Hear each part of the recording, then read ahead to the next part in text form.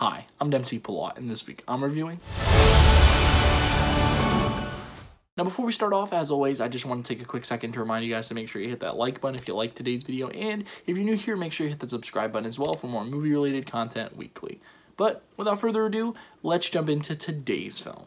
Onward was directed by Dan Scanlon and stars Tom Holland, Chris Pratt, Julia Louis-Dreyfus, and Octavia Spencer. Taking place in a world where mythical creatures coexist, the film follows two brother elves as they go on a quest to try and fulfill a spell that'll bring back their late father for one more day. And if you're wondering what I thought about this film, well, here's a hint. It's Disney and Pixar, so obviously it was great. I mean, there was a lot to love about this film. Firstly, I really enjoyed the animation. Pixar's always introducing us to really abstract characters like toys or cars, but here it meshes non-human characters and human-like characters in a way that feels really refreshing. The film as a whole is visually stunning, especially the sequences including and involving magic. Uh, I felt like those were done exceptionally well. I mean, the entire film is just extremely detailed and very sharp, and I can't believe that Pixar just continues to outdo itself and improve year after year, film after film. I also really love the film's plot.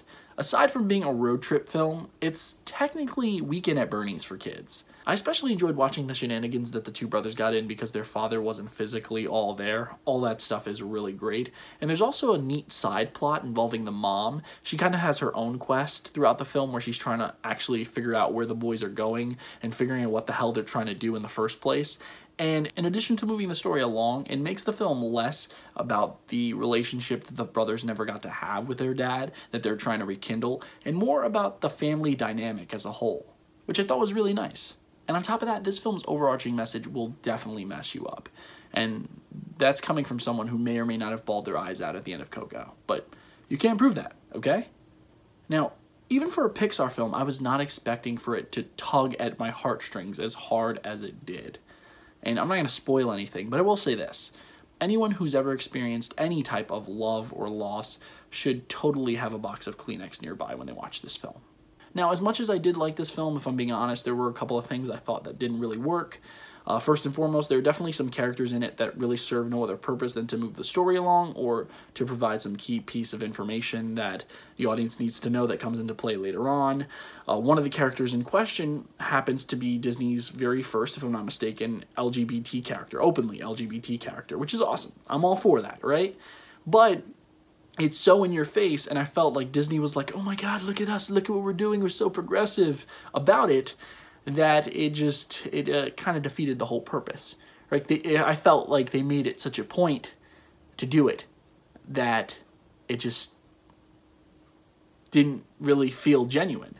Like that's cool but what about that love simon show on disney plus? You guys gonna still do that or what? The interaction with that character feels so forced and like I said, ingenuine that it, it just it, it took me a little bit out of the film. I will say that. I guess what I'm trying to say is that a lot of the interactions between our main characters and the more minor characters are just really awkward. And I guess you can try and make an argument that maybe that was done on purpose because the person who has a majority of these conversations is Tom Holland's character and he's definitely portrayed to be more of an introvert.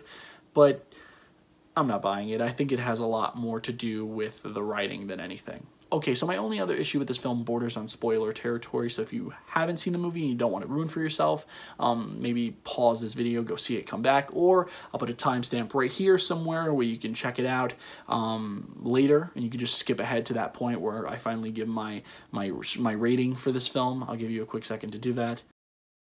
Okay, so the only other issue that I had with this film, which really wasn't an issue, but something that I wanted to see explored just a little bit more of, was the reintroduction of magic into this world that had seemingly forgotten about it. And I love the way that the two brothers had a hand at bringing it back because of their quest, but I would have liked to see the implications of their actions beyond their small town. Like, we saw that their stepdad was running again as a centaur, we saw that the pixies that they fought had remembered how to fly, but what happened beyond that?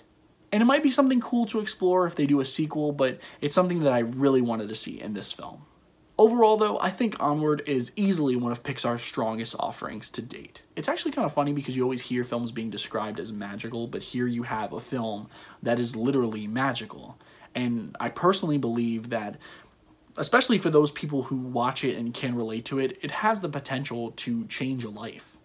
And for that, I'm going to give this film four and a half stars. Ta-da! Oh, that's great! Guys, thanks so much for taking the time out of your day to view this video. It really does mean the world to me. And once again, if you like this video, please make sure to hit that like button. And if you're new here, make sure you hit that subscribe button as well for more movie-related content weekly. Now, if you happen to see this movie, if you loved it, if you hated it, let me know what you thought about it down below in the comment section. I look forward to reading and responding to all of you. And uh, yeah, I'm really interested to see what some of you guys thought. I read that some people thought this was one of Pixar's best. Other people thought it was just okay. So once again, let me know what you thought about it. Now, that's pretty much all the time that I have for you guys today. I do have a lot of stuff in the works currently, so be on the lookout for it. So, um, in the meantime, I should probably get back to work, right? Until next time, I'm Dempsey Pillot.